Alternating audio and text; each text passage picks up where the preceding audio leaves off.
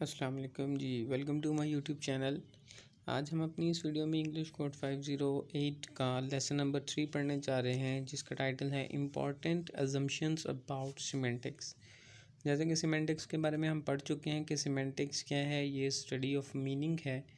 और मीनिंग के बारे में फिर हमने थोड़ा सा डिस्कस किया कि मीनिंग किस तरह से बनते हैं। हमने सिग्निफाइड सिग्निफायर और साइन का हमने कुछ थोड़ा सा तस्करा किया।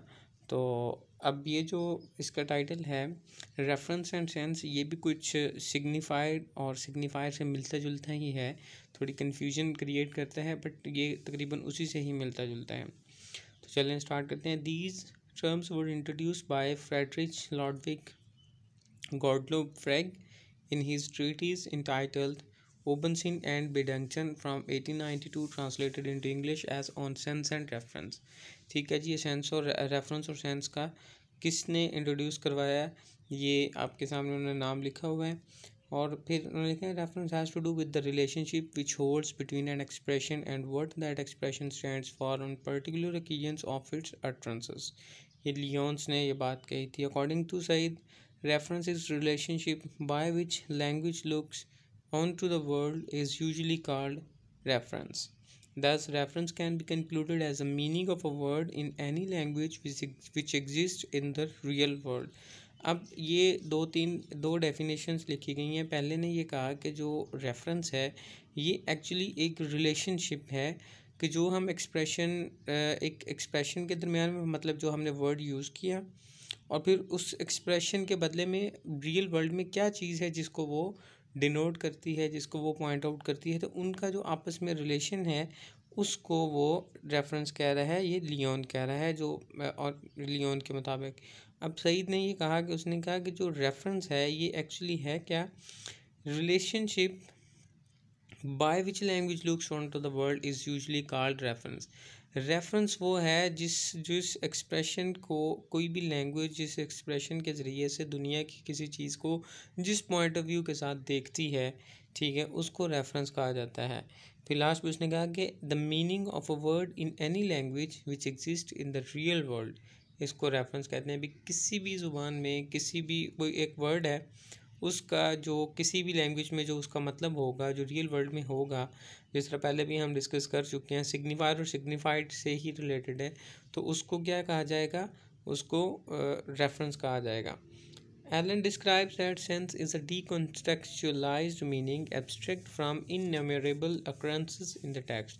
अब सेंस की उन्होंने बात की कि ये सेंस क्या है? ये डी डीकॉन्टेक्चुअलाइज्ड जो मतलब कॉन्टेक्स्ट से हट के जो मीनिंग होगा उसको उसने सेंस कहा है। आगे उसने सेंस को थोड़ा सा एक्सप्लेन भी किया है कि sense relates to the complex system of relationship between the linguistic elements them अब सेंस में थोड़ा सी बात ये है कि ये एक्चुअली हम किसी भी वर्ड को जब समझते हैं तो एक वर्ड का दूसरे वर्ड से रिलेशन बना के एक सेंस कायम करते हैं। फॉर एग्जांपल अगर कोई शख्स हमें कोई कहे कि he is a tall boy तो हमें टॉल की सेंस टॉल की समझ कब आएगी जब हमें शॉर्ट की सेंस होगी। मतलब वर्ड का, वर्ड से रिलेशन हमें पता होगा तो हमें जो मतलब समझ आएगा, उसको हम सेंस कहते हैं। Sense relates to the complex system of relationships between the linguistic elements themselves mostly the words concern only with intra linguistics relations according to Saeed the semantic links between elements with in the vocabulary system is an aspects of their sense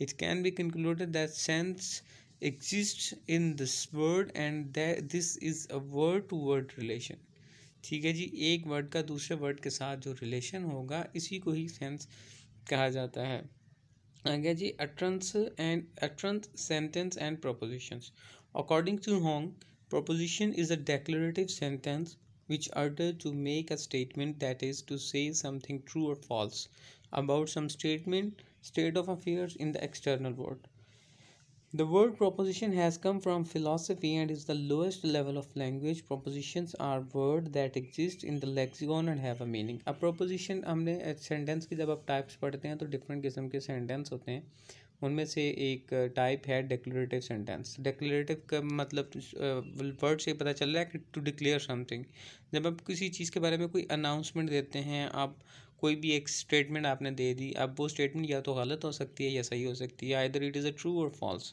ठीक है? तो वो जो आप किसी भी चीज़ के बारे में एक डिक्लेरेटिव सेंटेंस जो आप स्टेटमेंट देते हैं, ठीक है जी, उसको आप प्रोपोजिशन कहते हैं और प्रोपोजिशन आपकी ट्रू भी हो सकती है और प्रोपोजिशन आपकी फॉल्स भी हो सकती है, ठीक है? और उन्होंने कहा कि ये प्रोपोजिशन जो है, ये आई है फ़िलासफ़ी से आई है और प्रोपोजिशंस जो होती हैं are words that exist in the lexicons and have a meaning और ये लेक्सिकॉन में से आए हैं। लेक्सिकॉन वोकेबलरी कह सकते हैं। और ये वोकेबलरी के में एग्जिस्ट करते हैं और इनके एक मतलब होते हैं। A sentence is a group of abstract grammatical elements obtain from utterances अब अट्रेंसेस से जो मतलब जो अब हम बोलते हैं वहाँ से जो ग्रामेटिकल एलिमेंट्स का जो एक ग्रुप होता है, उसको सेंटेंस कहा जाता है।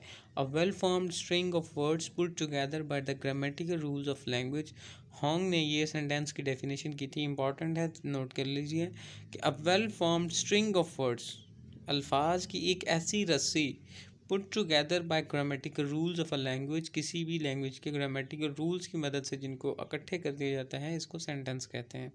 The sentence is some higher level of language it may have many propositions ठीक है जी?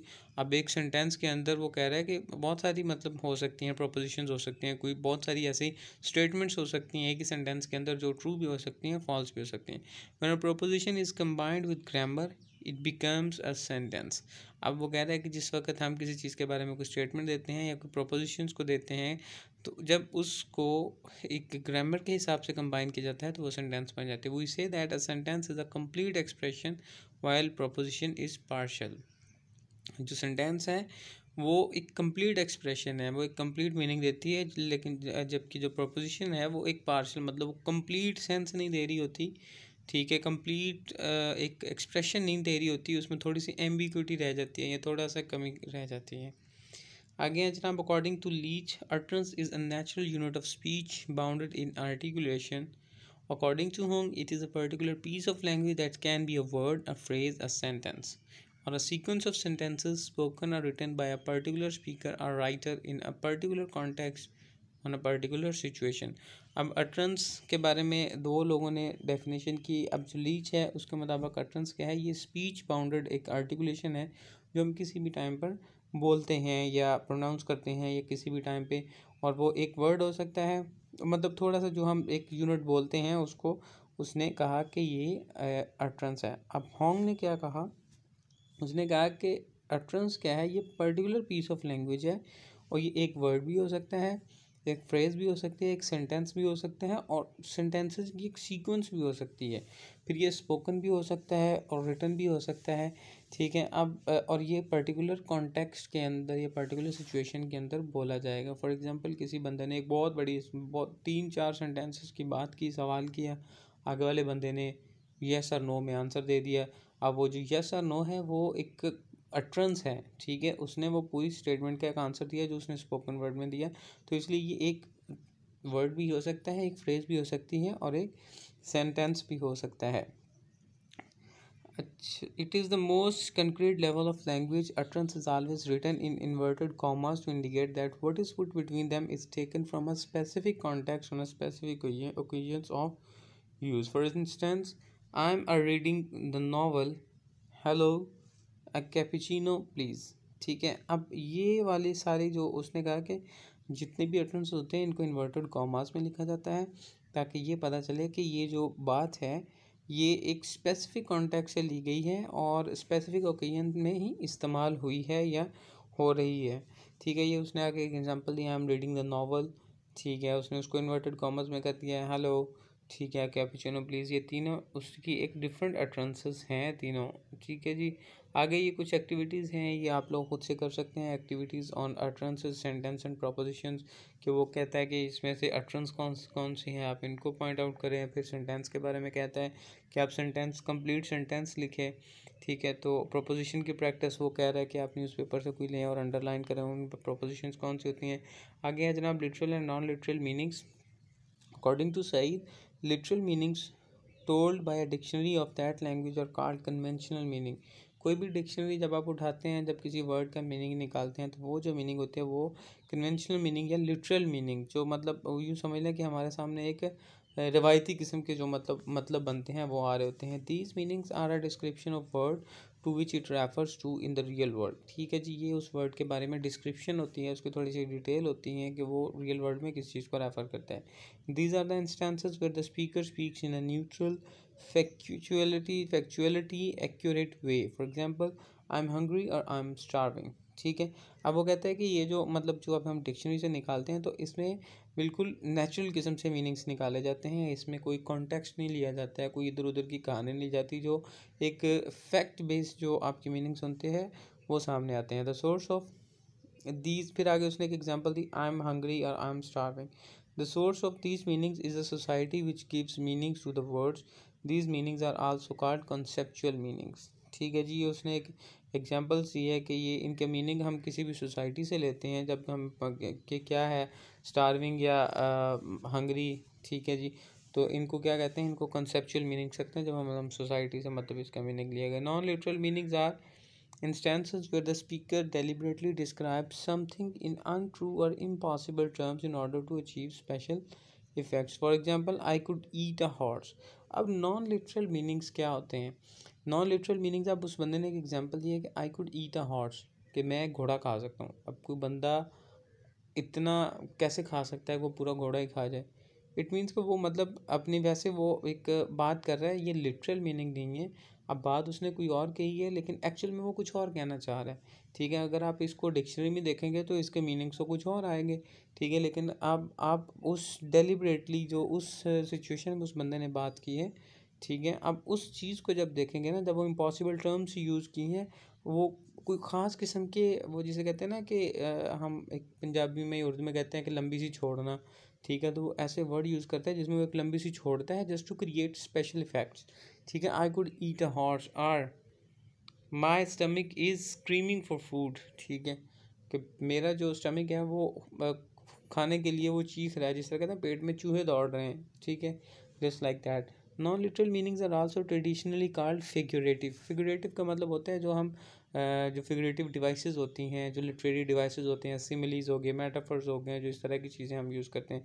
And are described by a host of rhetorical terms including metaphor irony metonymy etcetera these are associated meanings of the word symbolic meanings ये मतलब symbolic meanings होते हैं, ठीक है? तो ये आपको वैसे भी पता है, इंग्लिश पढ़ने वालों को पता ही होता है कि नॉन लिटरल मीनिंग्स कौन से हैं? ये एक्चुअली फिगरेटिव मीनिंग्स हैं जो कि डिफरेंट किस्म की जो लिटरेरी डिवाइसेस हैं, उनको यूज़ करके स्पेशल किस्म का इफ़ेक्ट क्रिएट किया जाता है मीनिंग्स लेने के लिए या मीनिंग वो इफ़ेक्ट क्रिएट करने के लिए। आगे हैं जनाब सीमेंटिक्स और प्रेगमेटिक्स अब ये इसके बारे में दो तीन व्यूज़ वो बताएँगे कि सीमेंटिक्स और प्रेगमेटिक्स हैं क्या और डिफरेंट डिफरेंट थ्री किस्म के डिफरेंट स्कूल्स ऑफ़ थाट्स के वो तस्करा करेंगे there are three different schools of thoughts on the distinction between semantics and pragmatics one group of linguist says that only three fields of linguist are pure linguistics that is semantics and syntax. They do not include pragmatics in pure linguistics as it does not rely on logic and ignore it by saying that anyone can interpret language according to his own desire. This school of thought is known as semanticism. अब सेमेंटिसिज्म क्या कहते हैं जी? सेमेंटिसिज्म ये कहते हैं कि जो linguistics की मेन ही तीन फ़ील्ड हैं। ठीक है जी? अब वो कौन कौन सी कहते हैं कि एक तो सीमेंटिक्स है मॉर्फोलॉजी है और सिंटैक्स हैं। अल्फाज के मतलब मतलब अल्फाज की फॉर्मेशन उनके मतलब और इनको अरेंज करना ग्रामर बनाने के लिए मतलब अकॉर्डिंग टू ग्रामेटिकल रूल्स वो कहते हैं जी प्रगमेटिक्स कुछ भी नहीं है बिकॉज़ प्रगमेटिक्स है क्या? इनविजिबल मीनिंग्स की स्टडी है. और कोई भी बंदा किसी भी सिचुएशन में अपने हिसाब से मीनिंग बना सकता है तो इसलिए pragmatics is not a pure linguistics ये एक प्योर लिंग्विस्टिक्स नहीं है. While other group of linguist holds that semantics is only study of conceptual meanings but real conversation takes place with in pragmatics without pragmatics every thing is useless because without it meaning will be partial and incomplete. This school of thought is called pragmatism. अब जो pragmatism है, वो ये कहते हैं कि भाई semantics ये क्या है कि किसी वर्ड के बारे में कॉन्सेप्चुअल मीनिंग्स देते हैं ठीक है अब कॉन्सेप्चुअल मीनिंग है, लेकिन जिस वक्त हम रियल सिचुएशंस में होते हैं, वहाँ पे हम कम्युनिकेशन करते हैं तो वहाँ पे मीनिंग्स कुछ कुछ के कुछ बन जाते हैं इसलिए एक्चुअल तो हमें कन्वर्सेशन में ही पता चलता है कि वर्ड का क्या मतलब है ठीक है? तो कॉन्सेप्चुअल मीनिंग्स के ऊपर हम नहीं चल सकते, इसलिए प्रगमेटिक्स के बगैर हर चीज़ यूजलेस है, ठीक है? और मीनिंग्स भी कोई इतने पर्टिकुलर नहीं होंगे स्पेशल नहीं होंगे एज परफेक्ट नहीं होंगे कंप्लीट नहीं होंगे पार्शल से हम आधी सी बात समझ आएगी, आधी नहीं आएगी, ठीक है? तो ये जो लोग थे, इन, ये थे प्रैग्मेटिज्म ये जो स्कूल ऑफ़ थाट के लोग थे। While the third and the most recent school of thought is of the view that both semantics and pragmatics are important. According to them, pragmatics gives non-literal meanings and semantics gives literal meanings. अब ये third school of thought है, इन्होंने ये कहा कि semantics और pragmatics दोनों ही important है। प्रेगमेटिक्स जो है, ये नॉन लिटरल मीनिंग्स देती हैं मतलब कि अकॉर्डिंग टू सिचुएशन जो भी बात की जा रही है, जो हिडन मीनिंग्स हैं, या जो बात तंजिया कही जा रही है मजाही अंदाज में कही जा रही है एक्चुअल मीनिंग क्या है? वो कन्वे करते हैं सीमेंटिक गिव्स लिटरल मीनिंग्स और जो सिमेंटिक्स है, वो उसके कॉन्सेप्चुअल मीनिंग्स जो जो डिक्शनरी के जो मीनिंग्स हैं, वो हमें देती है. By concluding this we can say that semantics is concern with sentence meanings meaning in language and pragmatics is concern with the speakers meaning meaning in social context अब, कहते हैं कि जब हम इसको कंक्लूड करते हैं तो हम ये कह सकते हैं, जो सीमेंटिक्स है सीमेंटिक डील करती है सेंटेंस मीनिंग्स ठीक है, जो किसी भी लैंग्वेज के अंदर है ठीक है? और जो प्रगमेटिक्स है, ये कंसर्निंग है स्पीकर्स मीनिंग जो सोशल कॉन्टेक्स्ट जिस कॉन्टेक्स्ट के अंदर बात की जा रही है। तो that was all about this lesson hope so कि आपको समझ आ गई होगी। प्लीज़ चैनल को सब्सक्राइब कीजिएगा वीडियो को लाइक कीजिएगा शेयर कीजिएगा कमेंट कीजिएगा। Thanks for watching